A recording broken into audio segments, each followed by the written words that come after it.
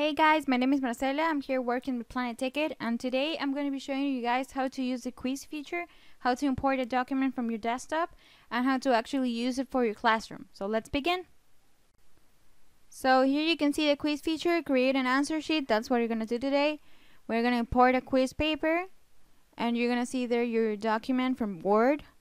You import that once you have it open, you can choose uh, multiple choice, true or false, whatever you need for your quiz. We're gonna do here all of them.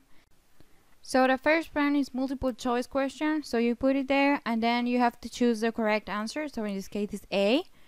Then we're gonna have a true or false, essay, fill the blank. Now we're gonna use an essay. You can put two if you want, so they can be two paragraphs. The score you click OK and then you have your answers. In case you don't want to and you want to delete one, you can also do that. You just have to click there, the X, and accept. And then you have one. After that, we have a true or false, so we're going to choose that. You click the right answer, in this case is true, so we click the check.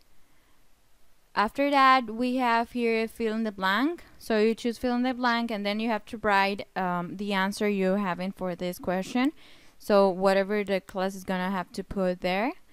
And finally we're gonna choose also the pencil that you can see there so that the students can draw. You can put the count the score. So right there we're gonna use the pencil for the, the students to draw. So now we have used every option available for answers on a quiz sheet. You can see there your five questions you can use the hand to move your, your answer sheet as you want to see your questions and your answers to check if everything is correct. Now we're gonna save our quiz sheet. We click there and we save it in our computer so can, you can use it as many times as you need. You can just put the name of your answer sheet and save it. After that you just close your quiz and then you start a quiz uh, this is the easiest way to import a quiz. You can see that you can put the name, you can put the duration of the quiz, the type. Now we have used every type, um, the count and the score. After that, you import your quiz paper from your desktop. You choose and then you click OK and that's how it is.